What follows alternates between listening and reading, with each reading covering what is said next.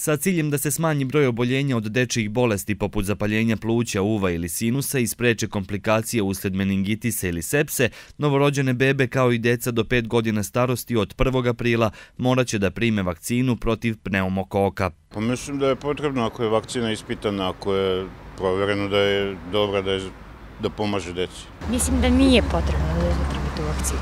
To su čisti gluposti, bez veze samo se struju deca.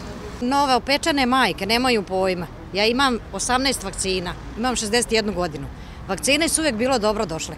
I zato jesmo zdravi, ne idem kod doktora. Već u drugom mesecu života novorođene bebe dobit će prvu dozu vakcine protiv pneumokoka. Nakon dva meseca života drugu, a tri meseca od rođenja i posljednju dozu. Šest meseci kasnije sledi revakcinacija. Deca od šest meseci do godine dana starosti dobijaće po dve doze vakcine u razmaku od četiri nedelje, a nakon posljednje doze sledi revakcinacija. Dok deca stara od godinu do dve također dobijaju dve doze u razmaku od osam nedelja bez revakcine. Deca kad dođu da dobiju pentaksim, odnosno petovalentnu tu vakcinu, ovaj, istovremeno mogu da dobiju i ovu vakcinu, tako da kad dođu znači, na, na ovaj pregled, deca da vide da li postoje neke kontraindikacije, a kontraindikacije za ovu vakcinu su isto kao i, i, i za sve ostale, znači ili alergija ili je neko febrilno stanje, sa temperaturom preko 39 stepeni ili neka akutna bolest. Vakcina protiv bakterije streptokoke pneumonije obavezna je za decu do 5 godina starosti,